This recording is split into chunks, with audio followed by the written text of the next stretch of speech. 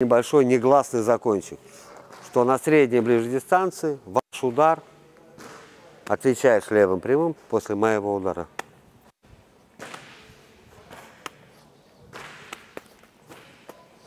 Видели, что произошло?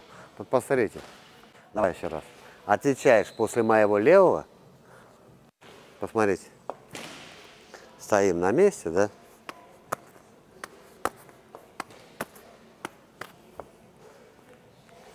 Мой же второй удар меня же закрывает.